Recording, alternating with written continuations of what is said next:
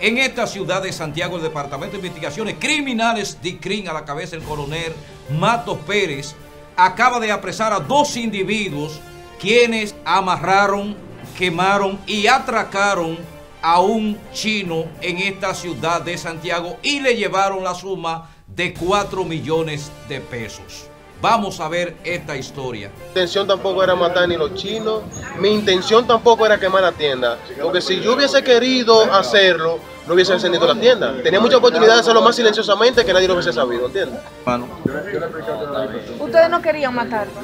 Pero que si no lo voy a querer matar, le voy a matar ya. ¿Para qué matar a una gente?